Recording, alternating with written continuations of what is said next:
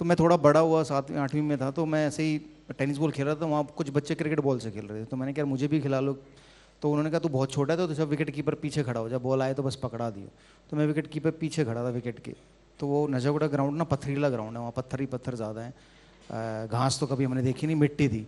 तो मैं पीछे खड़ा था बॉल बैट्समैन ने मारी, नहीं लगी तो मैं पीछे झुक के उठाने लगा तो पत्थर पर लग के मेरे मुँह पे लग गई और मेरे दांत पे गेंद लगी, टूट गया, दांत सूज गया, खून आ गए। खून तो जैसे तैसे मैंने रोक लिया बट वो जो टूटा हुआ दांत था, वो नहीं मिला। क्योंकि घर जाऊँगा तो मुझे पता था कि अगर मेरा दांत टूटा हुआ देखा तो मेरी पिटाई होने वाली है। तो जब मैं घर पहुँचा तो मेरे फादर ने मदर ने पूछा भाई क्या हुआ? मैंने कहा कुछ नहीं कह रहा होट क्यों सोचा मैंने नहीं नहीं वैसे गिर गया था तो लग गई। तो दो दिन बाद उन्हें पता चला मेरा दांत टूटा हुआ है। तो दो दिन तक तो ना मैंने उन्हें मुँह दिखाया ना हंसा कुछ।